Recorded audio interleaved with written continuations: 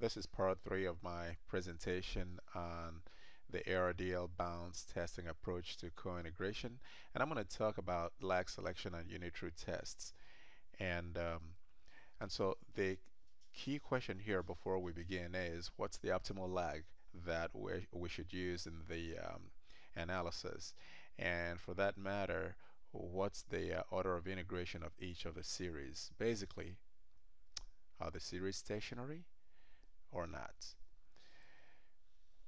To uh, carry this analysis I'm going to use these three variables the log of tourism arrivals for the US and the log of VIX. VIX is the CBOE the Chicago Board Options Exchange Volatility Index and the log of BXM which is um, the CBOE BuyWrite index. And so with these three variables this is how my ARDL bounds testing model is going to look the short-term component comprising not only the target variable but also the other two independent variables and the long run components which would include the um, values of each of the three variables y and x1 and x2 and the phi coefficients are going to be the long run model coefficients that we're going to be performing bounds test on so with that, there's going to be three co-integrating equations to examine right here,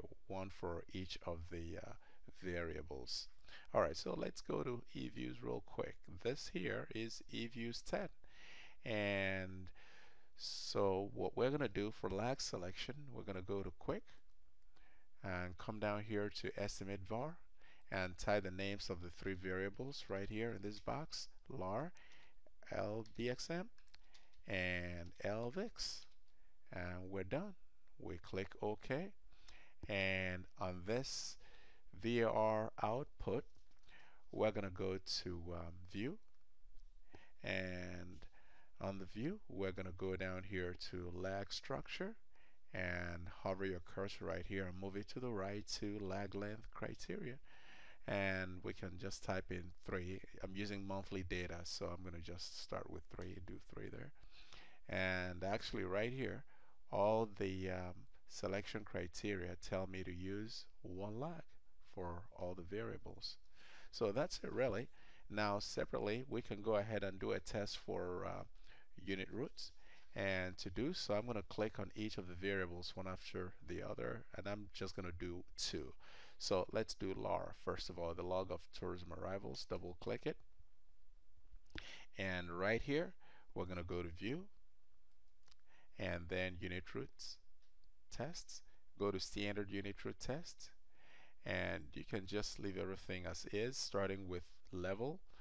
And uh, I've selected intercept only. And so it's up to you depending on how your series uh, looks to choose whichever one you want here. Some some uh, researchers would would try each of these in turns when they are not totally sure to see if there are consistent if there's a consistency in the, in the results.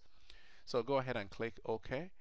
And as you can see at level the log of tourism arrivals is non-stationary as you can see. So let's see if it's stationary after first differencing so go back to view and go to unit root tests and click on standard unit root and this time choose first difference.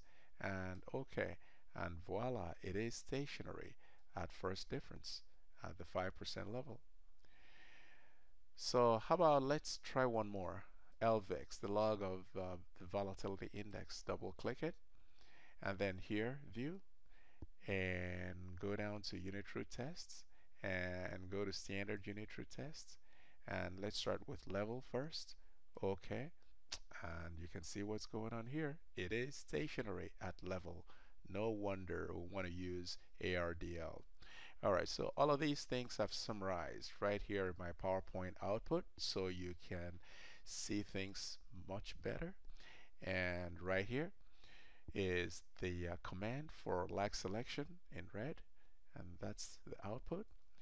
And this is the VAR output and this is the um, the command to eventually obtain what you see right here which is um, the uh, the lag selection um, that's picked by um, the lag structure picked by each of the criteria right here, summarized down here. Now though, test for stationarity to be honest with you, outside of the need to be sure that none of the variables is I2 or higher, ARDL co-integration approach, as I write out here clearly, does not require pre-tests for unit roots.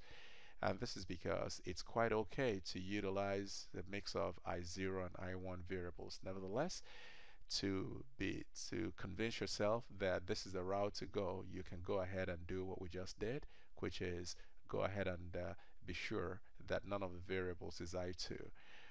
And uh, in our case, we found that for LAR, it's non-stationary at level, but at first difference, it is stationary.